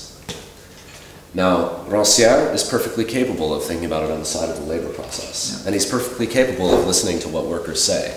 He is completely incapable of thinking about capitalism on the side of the valorization process. And that's why he's unable to offer, and we have to do both of those things, not one. And that's why he's unable to offer a dialectical account, a properly dialectical account of the relation between the history of capitalism and uh, the history of art, or even something like the history of the labor movement. He literally can't understand it. He can understand it in an empiricist register, which is focused on one side of Marx's analysis and not the other. And I would just say that, you know, in that article that I wrote on, uh, on Rancière's book on Althusser, you know, this leads him uh, to really quite colossal um, political misunderstandings. That at the very time, you know, that Rancière is celebrating the occupation of the, the watch factory, the Lip factory in Besançon, and saying, like, uh, celebrating their slogan, precisely listening to what the workers say, and they say, We we, we make, you know, we sell, we pay ourselves. And, and you know, Rancière is like, yes, this is like what the man worker has to say if you listen to him, you know, pay attention to Sarah. And this is quite comical, you know? It's, it's in a one way not comical. Of course, uh, being involved in a political sequence means being like involved with everyone involved in it. At the same time, this is quite, I think, a paternalistic um, relation uh, to slogans like that, a refusal, um, simply accepting them on their own terms and, and being completely unable to criticize or think through them and the results that they will lead to. So, for example, for Rancière, it's like, great, we're managing our own factory. We like, we make, we sell, we pay ourselves. Well, look, it only lasts a certain amount of time because uh, actually you have to compete with other capitals in your little watch factory, and that means that um, you know you're going to have to perform those layoffs that uh, the managers were going to perform in order to like reproduce um, that capital. And so Rancière is, at the same time that Rancière is completely unable to think through these impasses, we have a text by Negation analyzing the self-managed counter-revolution and saying exactly what the problem in Besançon is and what its structural contradictions are. And why? Because those people who are Théorie Communiste eventually and others are able to think about the valorization process as well as the labor process. And if you don't do that, forget it. Well, know? I think Rancière would say that he spent some time working on that in, in the mid '60s, uh, and that he was not, a, a, you know, ignorant of it. The question is, do you listen to people? I, I think also his account of Lip is a little more complicated than what you suggest. That's part of it, but he also is aware, I think, of the fact that like all the gauche proletarian people were of, of how what's happening in Lip and the way they're presenting it is a serious. You know, it means that you can't simply take the easy Maoist line of du paysan voit juste, you know, or something like that. You can trust the reflexes of the people, precisely again because they hadn't thought through the category of, the, of, the, of political will. I think um, it was a, really a matter of political reflex, un, and precisely uneducated political reflex because it was all about the critique of it of the educated. You don't think it has anything to do with not being able to understand the relation of self-management to valorization? It's- I think he can understand the relation, but he wants to. He certainly wants to invert the relation. He doesn't want to. I think he would say, and I personally would agree with him, that the the figure, the side of the equation that, that is capital claiming for itself the position of being the subject of its own self-valorization is a is a secondary and ultimately fetishistic Capital uh, doesn't, move. it doesn't claim anything. For It claims that, sure it does. In chapter four, he talks about the, the capital positions itself as the subject of its own self-valorization. It positions itself as the goose that lays golden eggs, right? But it's clearly in an ironic mode, and I think Marx, I think people like Dussel and others who read this, Harvey too for that matter, uh, as a as essentially a secondary phenomenon. What it fundamentally is is the relation of exploitation, as you said. And then, so I think Rancière broadly is in line with that, although he, he's not, he, you know, his fundamental thing is listening to people, that's true. But who's going to argue with such a thing? It's, it's really quite astonishing. A lot. Uh, who's going to say no? We shouldn't listen to any of the people. Well, hang on. I mean, but it's, you're it's saying- not. There's no. Nathan, no, I'm not let- saying let that at Peter- all. let Peter- Yeah, you're saying that. You're, for example, the question of democracy. So let's take this I'm question. not saying that. So Bad- Badiou gets himself in a contradiction. On the one hand, he says we should listen to these people in Tahrir Square. They are the Egyptian nation. Here they are. They've constituted themselves, and they have claimed the right, and, the and they are practicing this. The, the way they've constituted themselves as le peuple égyptien. You know, they, they are there in person, not through the logic of parliamentary you know, representation and so on. And what do they say? And then the question is, well, so what are these people saying? Do we should we listen to them? And one of the things they're saying, they're saying multiple things, but is we want democracy. We want an end to autocracy. We want a bunch of boring old liberal freedoms along with the various other things. Yeah. And that is part of what they're saying. By the way, it's what they're saying also in Bolivia and Venezuela and other places. Of course, there's a difference between there's a difference between um, being able to recognize and analyze the limitations of a certain political position and not listening to people. Actually, listening to what people say in these situations and in political situations in which one is directly involved is a condition of possibility for thinking through what the structure and the limitations of a particular political sequence are. So the idea that like if one doesn't agree that yes, the people of Tahrir Square are absolutely right to uh, say we want democracy rather than we want communism. It doesn't mean that I, if I think that actually uh, there are limitations to what they're saying, that I'm not listening to them. But I mean, this is uh, this is a kind of normative argument. But you can say is that a bunch of people are demonstrating for a misguided demand in Tahrir Square, and they're entitled to that. I would never say. such a foolish thing. All right, but Badiou is saying they are constituting themselves as the sovereign people. They are investing themselves with the power to make, basically to make, you know, to, to lay down laws for that will, that should be self, you know, that should that would be taken on as uh, principles that people would obey in a form of sovereign self government, something like that, right? And if then uh, you can't both say that and say that they shouldn't be calling for what they're actually calling for. It seems to me you really have to make a No decision. no one is saying they shouldn't be saying what they're saying. They are saying what they're saying. What, That what effect does saying they shouldn't be saying it have to do with anything? The question is to think about it historically. That's all. And, and that means not accepting carte blanche that what they say is right and true just because they say it. And that it's, that it's like the, the necessarily correct thing to say and that it doesn't have political limitations. Mm-hmm. To think about something historically is not to be is not to say someone should be saying something else than what they're saying right now. It's to recognize what they're saying in its context, in its limits, and to situate it within those. Okay. On the topic of listening, can you please let Peter finish his response? Like, Yeah, but I'm also trying to respond to particular things that he's saying before they get lost, you know? Um, the, the, there's one thing about critically to listen is indeed to critically engage with and so on, and and you can easily point out, and the people in Tahrir Square know this perfectly well, what the limitations of certain capitalist parliamentary models of democracy are. That, but it's another thing to say that you, what you're calling for is essentially the en, you know the fundamental enemy of our time. That, that, that you're calling for an illusion that in other contexts he talks about as kind of pre-Euclidean. He'll say, for example, that the Maoist sequence of 1920s already demonstrated that the ideals that have motivated the Bolivarian Revolution are the political equivalents of like pre-Euclidean delusion. Uh, and that, is a, that, in my opinion, is, a, is an incapacity to engage with what is actually happening there. Also, a total indifference um, to it. Uh, and it's that kind of. So, what, what strikes me about this, so take the question of the, the party. So, yes, politics without a party, we have to abandon the party form. The question is why uh, has he reached this conclusion? You could say that, well, because, and the real reason I think in his case is that because a certain trajectory of the revolutionary party from Lenin to Stalin to Mao failed to salvage itself. And the Cultural Revolution was its last gasp, and it didn't work, right? It was still too compromised by the form of the state, and it basically imploded and destroyed itself. You could make another claim, though, which is the party. Why did the party become an, an important forum uh, for the communist movement, for example? And it, be- it became so mainly in Germany because the SPD had the prospect of winning electoral power, right? In other words, it was growing, it had momentum. Le- you know, Engels is very optimistic, Kautsky and company are very optimistic, Lenin is very impressed, it's clearly the model for the Russian party.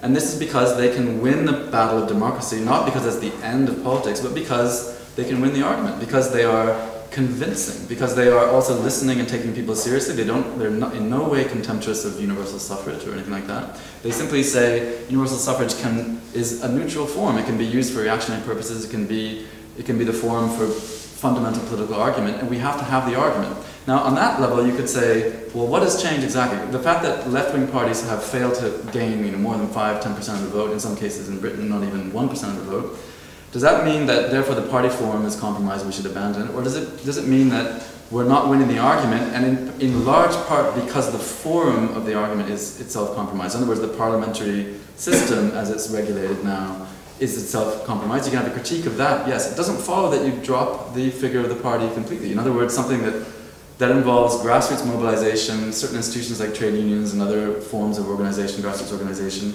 with something that is geared towards taking state power, because you can because taking state power is still useful. And the real, you know, my opinion anyway. Of course, it doesn't forbid you. Um, and that, so that's a, that's a slightly different question, seems to me. Uh, and part of the reason why the abandoned party, I think, Badiou's abandoned party, is that they're not prepared to engage in the, in the work of public conviction, you know, of, of, public, of winning the argument at a mass level. And part of that is, I think, hard to separate from a certain contempt for what, what people think or what people are, are talking about and engaged with. And he's not, he's frankly just not that interested. And his whole concept of truth is consistent with this. Why should he be interested if, if truth is understood in the way that he conceives it? It's not really fundamentally, in other words, fundamentally mediated by what people are actually willing and thinking, however false the consciousness is, however deluded it is and compromised it is by this or that form.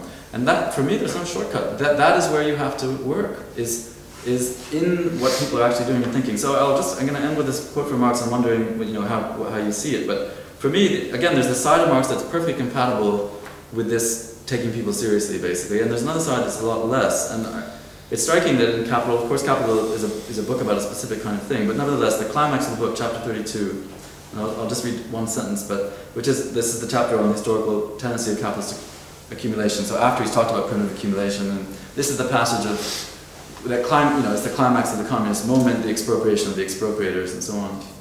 And it's hard to read it in terms of not deterministic, I think. Uh, he talks about how, for example, the mode of production reaches a certain point of contradiction. It has to be, quote, it has to be annihilated, it is annihilated. Or again, this expropriation, now talking about the expropriation of, of, of capitalist private property. So in other words, the move to communism, as you put it, this expropriation is accomplished through the action of the uh, immanent laws of capitalist production itself, dot, dot, dot, with the inexorability of a natural process. Now, if you understand that kind of process of expropriation on the model of an inexorable natural process, deliberately, in order to exclude the domain, for example, of conscious intentions and the choosing of, of uh, aims and ends and the whole Kantian business of you know, determining your own ends and so on, then you're introducing a real tension, it seems to me. It, it, it seems like, you know, Marx doesn't have to do that. He could say that they're, the two things are bound up with each other or they're mutually co-implied or correlated or but he quite explicitly, I think, uh, opts not to do that. Um, and it does invite, I think, the notion of determinism. And my question for you then is the way that you talk about the move towards communism as essentially the self-destruction of capitalism. Look, on one level, that certainly creates the conditions. I think this is the old condition causal question again.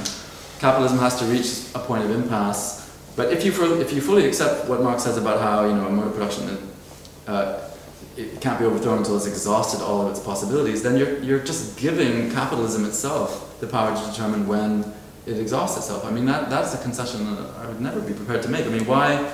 We have no idea, the truth is. You talk about late modern, you know, late modernity as if its it decline is imminent. There are symptoms, but they could easily be wrong. I mean, it's way too, it's, it's far too speculative to, to know it. We can't possibly leave it to capitalism to kill itself off. It'll have to be killed. I mean... But who is, who is doing such a thing? I mean, so so so the so no, who's who's uh, just letting capitalism hang out and not struggling against it? So the so the the question is, um, you know, uh, Marx says for structural reasons that uh, the history of capital is finite.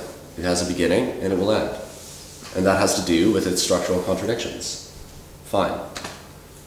The, to call that now, what he says about it, like ending like a natural process, well, there are many different passages on this kind of thing in Marx, you know, so we could go back and forth like Marxologists and we could counter-cite and whatever, fun, interesting.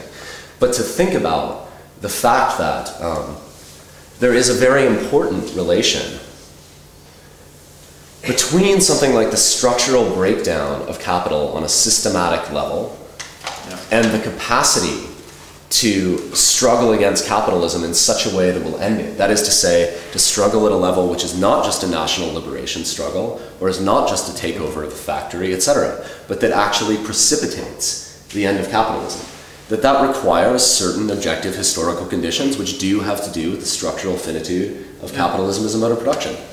So, you know, these, these, uh, these um, questions which seem so dramatic about the determinism of Marx's account. It's like, well, he says capitalism is finite, and he says it's important to think about the end of capitalism and struggling for the end of capitalism in relation to its structural finitude. Okay.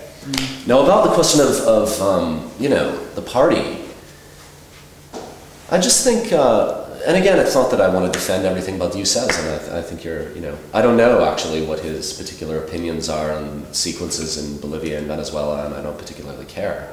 But I think that um, that what he's talking about in terms of uh, um,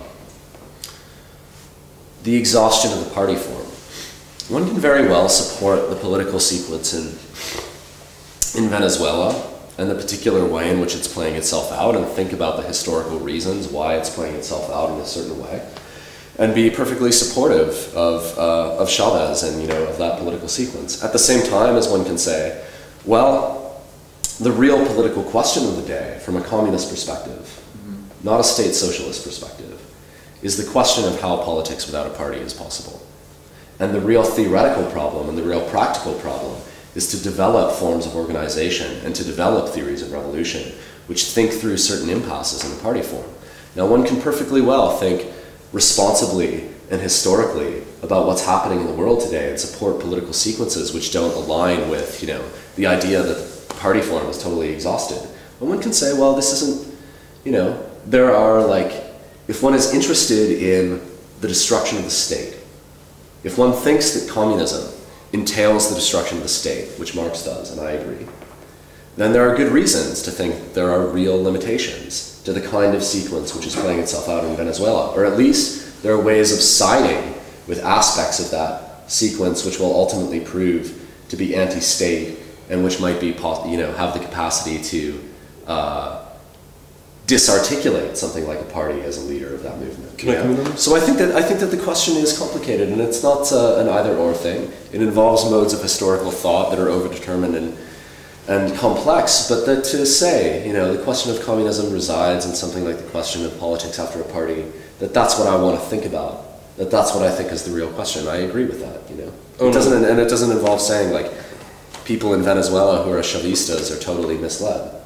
I mean, Just um, one, and then actually maybe it comes a bit to your, your question about the communist hypothesis. But I mean, on one thing where Nathan and I, I think, do um, share a position, or at least I get accused of being a catastrophist a lot. I mean, I think one of the things um, that's interesting about, let's say, something like uh, a notion of communism as something like the articulated negation of capitalism, rather than a form of kind of seizure and and then post-revolutionary transition is that you know I think the reason why I basically share a kind of a version of this position uh, while still thinking that that's going to be incredibly ferocious difficult work that people have to engage in and massively organized and you know if ultimately some of that's called party or not I'm relatively open to, to this but for me the particularity about this optic that has a certain traction right now um, is that I think it's shown itself able to take a set, take its um, cues or its kind of bearings from a set of, of previously kind of unforeseen conditions that a lot of socialist and communist organizing kind of thought itself on. So here's a, a very clear example would be, you know, it seems weird now in a, for, for many of us, I think, but you know, up until about 60s or 70s, barring a, a different kind of anarchist and especially insurrectionary anarchist current, you know, all the vast majority of Marxists really thought that we had to like build up productive means, as Nathan mentioned, as much as possible to free ourselves from work via technological, you know. And so it's only really in the 60s that you get, especially via um, a set of these Italians like Panzieri and Alquati and people who start saying, eh, all of these things we took as neutral or potentially objective, like factory structure, etc., they're not. In fact, they're class technologies. They were designed in that. Maybe we'll scrap them, maybe some we'll use. But the point is that, you know, the question of labor that was such a central grounding for so much of kind of communist thought until at least the mid-century has shown itself even stranger because now we're in a period where it's increasingly implausible to think that we would organize on the basis of trade when in fact the predominant issue is how to get people able to reproduce themselves without work. You know what I found really perverse about a certain kind of SWP position was like defend the right to work. You know, for me it seems like in a time we know when employment is dropping, at least in the sort of uh, you know global north, or access to, and we're having huge generations who simply can't access that. It seems quite perverse to think that we would make that the kernel that we then try to kind of radicalize within unions that, you know, for very good reasons are pretty defensive of their members and not particularly radical for the most part. So the point of this other politics would be saying, would be to something like, or this anti-politics, I think, would be to be, would be to say something like, one takes one's bearings or kind of compass markers off the basis of the um, the disintegrating, uh, where capital's uh, reproduction of social relations are disintegrating, and where one looks in towards that is that there are forms of struggle in which you can't make a divide between the act of doing politics and the acts of trying to kind of weather that storm. So, for example, things like direct appropriation of, uh, like looting of supermarkets and things like that is an interesting thing because that's the moment where people are simultaneously defying the police, breaking, albeit temporarily, or suspending the law of value, and becoming a collective force in a way they were not previously. So, you know, for people like me who put a lot of emphasis on, on things like kind of like looting, the riot, certain forms of criminality, etc., mm-hmm. it has to do with understanding that, you know, we're not in a period where the reproduction of capital is particularly healthy. Will we have to kill it? Absolutely. But there's ways in which it's not a sort of, you know, as I think Nathan was right to periodize in this way, you know, the post-war boom is one where basically the, the global north can absorb a huge saturation of labor in ways it hadn't been able to previously. That's not the case now, both in north and south. And so, you know, I think there's the idea of a kind of negative understanding of, of communism that has to do with how do we work collectively by means of totally mass organization, because it has to be that, in order to sever the bonds of coherence. That includes between state and capital, that includes between capital and family, that is between like gender and labor, right? How do you sever these ties so that a takeover of them becomes possible and a ruination of them? But the first process of that is one that involves basically a form of taking your cues from uh, the, the kind of points of decomposition. Does that make some sense? Yeah, I do. Well, I have a question, I mean, standard, Maybe. totally political question, basic Trotskyist question, I guess, which is, Good. let's say you start this process, so you loot some, you know, however it starts, let's but take the figure of, you know, looting supermarkets and other forms of, you know, mass mobilization that have a somewhat ephemeral form, but that could yeah. be organized in something more substantial. Well, then you have an empty supermarket, and you have you have predictable, you know, you can imagine exactly what the police reaction is going to be, and the press reaction, and the government reaction, and then then either uh, then let's say if things go well, you get into something more and more like a civil war, right? So and and the, it'll be as for, like Nathan mentioned, it'll be utterly ferocious, right? So you will, you know, it'll be you will inherit a situation that will be very comparable to the one that Lenin and Trotsky are staring at in 1920, which is basically a scorched earth. Right? Totally. The reason why they adopt Taylorism, as Linhart you know, demonstrates well in a, in a complicated way with some reservations all the same, is that you have to feed the countryside. You know, the cities, if, if, the cities don't produce industrial goods and goods for the countryside, uh, and the countryside doesn't pr produce the food for the cities, then you have mass famine and starvation, which is indeed what happens. And and in that kind of context, you're uh, you need. I, I'm just I just I can see what they managed to do with incredible discipline and all kinds of sacrifice and all kinds of problems, but with a with a very powerful state in early, you know, in the early 1920s in Russia. Yeah. I just can't imagine. I just, I would like to be able to envisage what you're calling for that doesn't reinvent the wheel, that doesn't reinvent some kind of state, and probably in a way that's going to be a bit more murky and complicated than the neo-Rousseauist one, which says, of course you have to have a government, you have to have mm-hmm. something to execute public decisions, and we need to keep it under control. We need, in other words, and, and that we need to we need to do this by winning people over, basically by by by winning the argument, and not by allowing ourselves to be basically divided and ruled, infiltrated very easily, set against each other. I mean, this, the techniques that the police have in their in their favor now are just overwhelming. I mean, but isn't it isn't it interesting when and where one chooses to say we have to listen to the people? When the people say, you know, liberty and equality, we want democracy in Tahrir Square, then we have to listen to them. But when people burn down the Sony warehouse in London, then it's like, ah, this is not a polit- you know, a, a productive political strategy or tactic. So actually, these people need to be shepherded and organized, and uh, they need to organize themselves. Oh, but look what they're actually doing. riots are a form of speech, looting is a form of speech. This is when one also has to listen to the people, you know, not just when they say what we think they should say, not just when they organize themselves very methodically in Montreal, you know, and that's what it is to think historically. Not only what happens in Montreal, but what happens in London two summers ago, and why that's like real, and why it will continue to happen, and why it does have something to do with the breakdown of capitalism, and why it will be integrally involved. So that is to say, there's not one way in which like revolution is going to take place. It's going to take place in ways which are very organized, and it's going to take place in ways which are extremely chaotic and which will lead to civil wars, and which will lead to massive repressive crackdowns, and which will lead to fascist reactions. And you think those wars can be won without by, by basically using the figure of the, of the dissolution of the proletariat as opposed to the consolidation of the. Of, They can't be won from any theoretical position. But we can, we can, we can, we cannot, and this is my problem with the party politics, we cannot impose and educate and organize through uh, a, a theoretical position.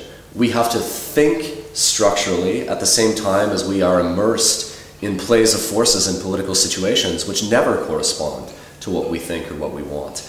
And yes, of course, sometimes one has to press organization, and other times one has to say, let's burn down the fucking building, you know? And, and there's no way of like uh, saying that one way or the other is like the correct line. And this is the real impasse of Trotskyist politics when it rears its ugly head in the way that it did after those riots in London. The absolutely disgusting statements of Trotskyists in England about what happened, and the completely paternalistic attitude that they took towards what happened, you know?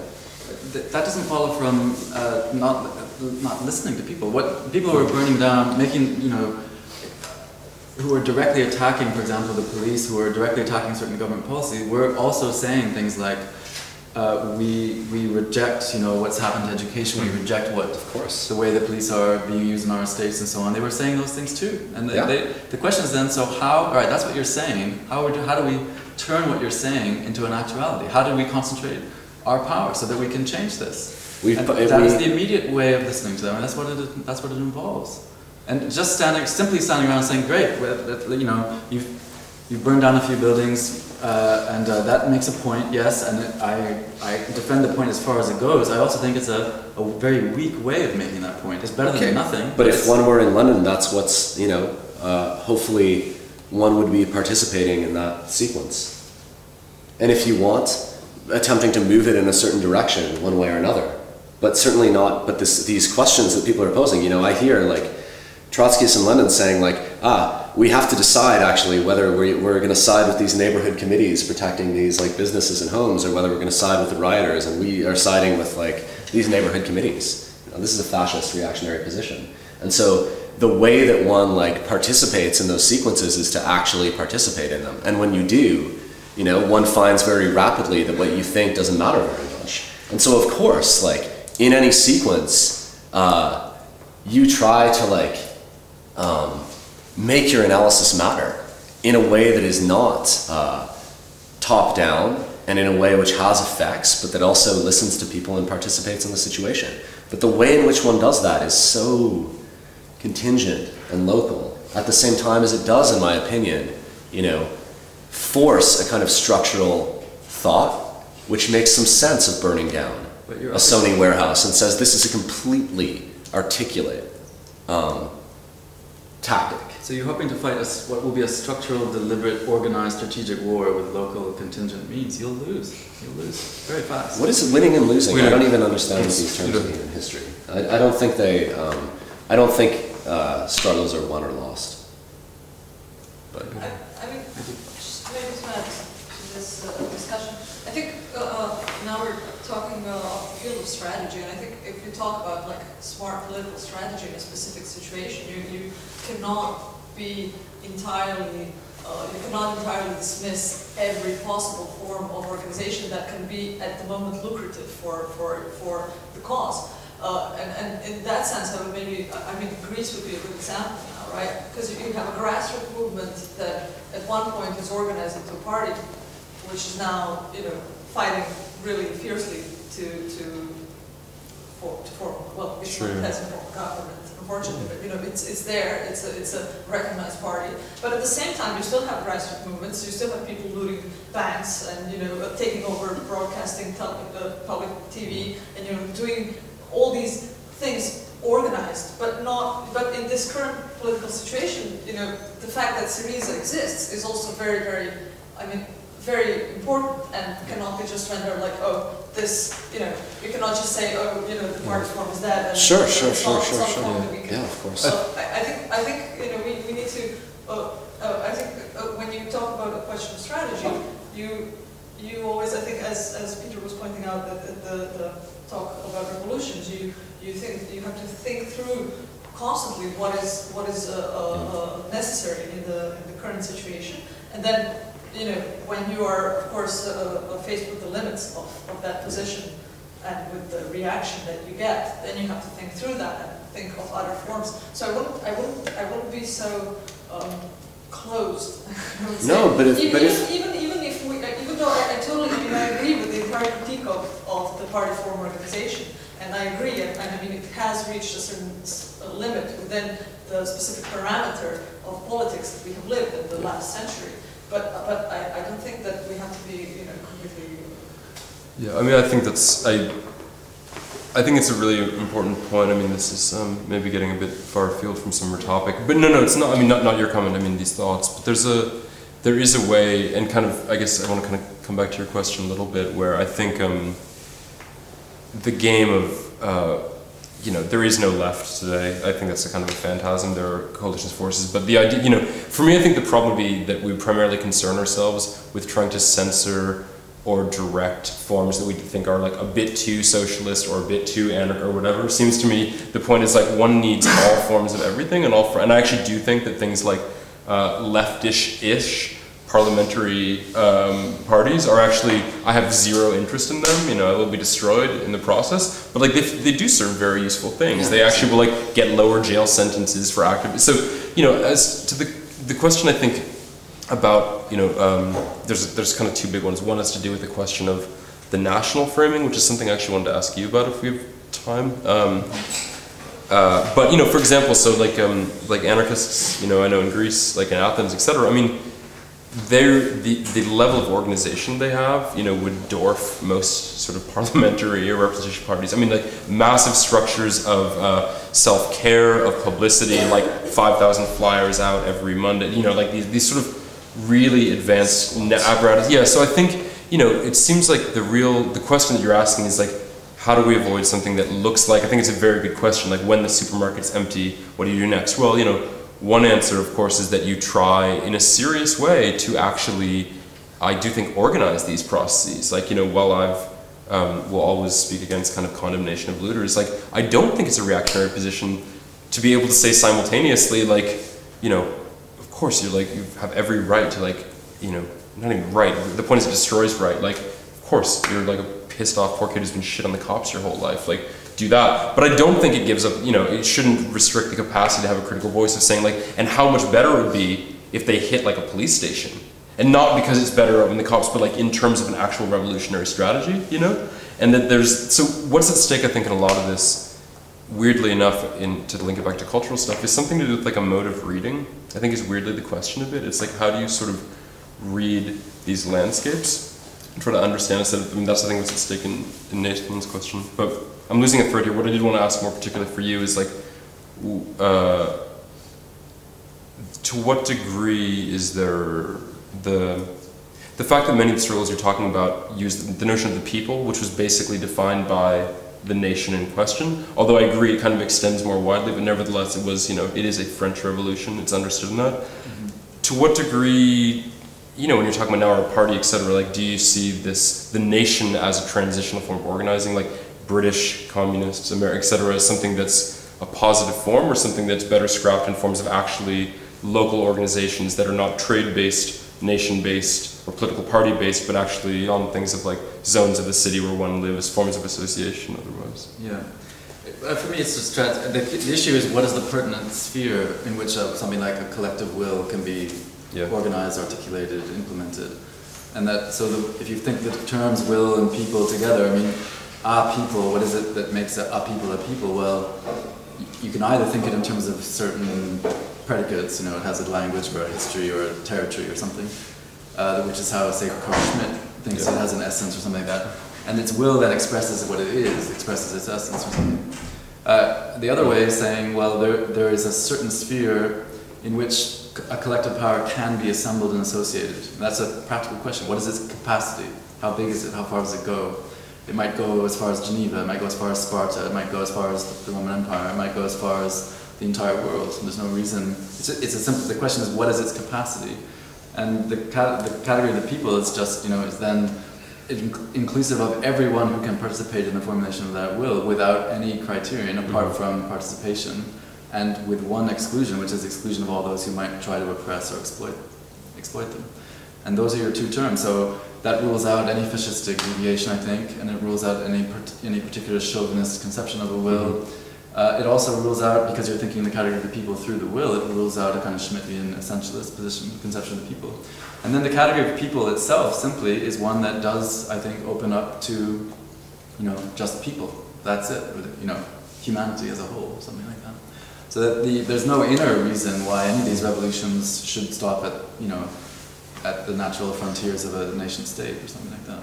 And they were never conceived that way. They were never thought that way. Yeah, I was just thinking of sort of unfortunate instances like um, the French Communist Party's waffling, to put it nicely, over support of Algerian revolutionaries because of worries of alienating like what they understood as the French working class people. So there's just it's just like it's a really fraught history, of course, in terms of a Well, like any category, yes, indeed. Yeah. So the nation can then very easily, and Fanon analyze this very well, how, how a basically a revolutionary nationalism can be turned into the exact opposite. Um, it's, the, the will is a dialectical category in the very ordinary sense that it will tend to become its opposite if you don't correct it. So, and the same thing with the people, it can easily invert itself. So it's, this is why there's, there's no shortcut. It's a, whatever you want, whether you want to call it virtue or something else, there's, there's the need for this constant self-correcting process. Um, I, but I think that there's no reason why, and you see it a bit in the Bolivarian process, there was a moment, of the sort of Pan-Africanist moment, that I think was very important and very threatening and therefore was shut down very quickly. Uh, the Haitian example is a really interesting one because the effort to quarantine the Haitian Revolution was a big effort again. Um, and because these things are, you know, generate enthusiasm and inspire imitation, and you know, like a bit like Chomsky says too, about the virus of self-determination. You know, it's a, it's a, and power goes a lot of trouble to stifle that for precisely the reason that people, you know, are not naturally confined to their ethnic or natural, you know, national, national uh, chauvinistic horizons. We should probably retire. It's Yeah, we're through two hours already, right? Yeah. almost two hours.